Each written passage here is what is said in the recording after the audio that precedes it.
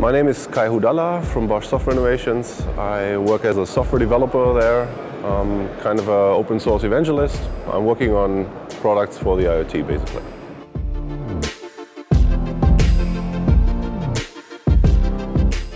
For Bosch Software Innovations it is important to use and engage in open source uh, for multiple reasons. Um, first of all, we can share a lot of the development effort, so we do not need to work on everything ourselves.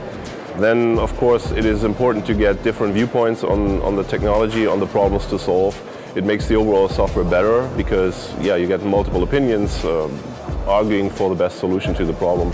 So the overall process leads to a better outcome from my point of view.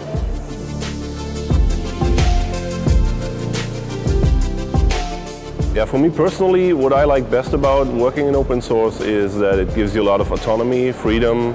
You get in touch with multiple people from other companies. So this is, uh, this is very exciting and, it, and, and most of all it's a lot of fun to do that actually.